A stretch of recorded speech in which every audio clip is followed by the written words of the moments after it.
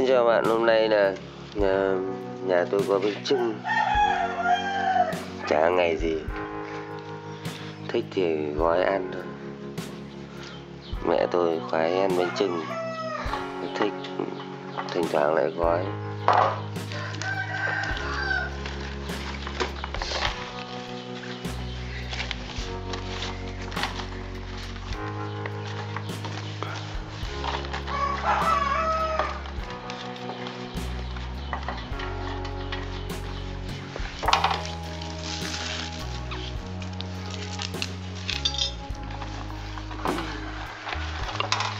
Ờ, gạo ngâm đi. Gạo ngâm từ tối hôm qua. Đậu xanh.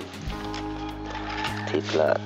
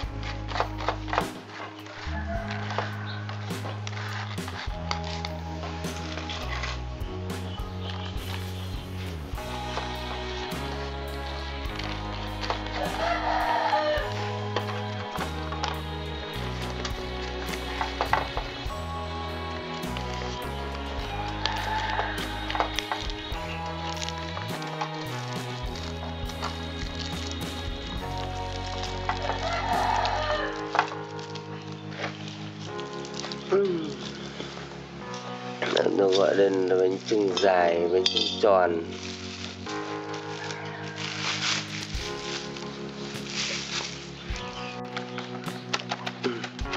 Ngày trước ở quê tôi cũng vẫn hay gói bánh trưng vuông, nhưng mà bây giờ người ta ít gói. Mà chỉ gói vào ngày tết để mấy cái để thờ thì không đi mua thì chẳng mấy ai người ta gói bánh trưng vuông gói, gọi bánh trưng vuông nó rất là lâu lích kích. Phải cắt lá rồi phải có khuôn. Có những người người ta khéo tay người ta không cần phải khuôn nhưng mà đa số vẫn phải phải khuôn mới, mới gói được bánh trưng vuông thế nên là bỏ dần rồi. Bây giờ gói bánh trưng tròn quấn cái nhanh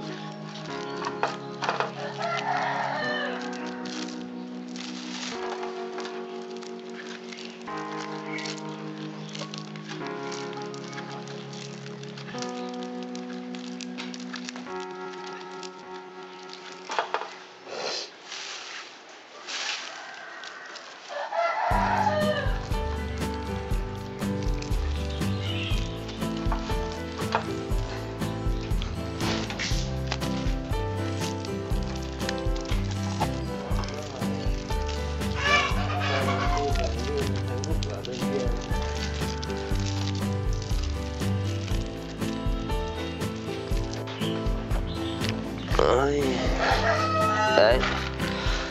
Đây là cái bánh trưng dài như thế này. Rồi mang vào đây luộc. Gói có một nồi đang luộc ở trong này rồi. Đấy, vào trong bếp nó hơi tối một tí các bạn cũng thông cảm.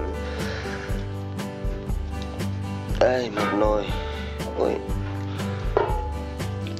đấy giờ một nồi mình trưng luộc trong này rồi. Vào đây luộc. Đấy.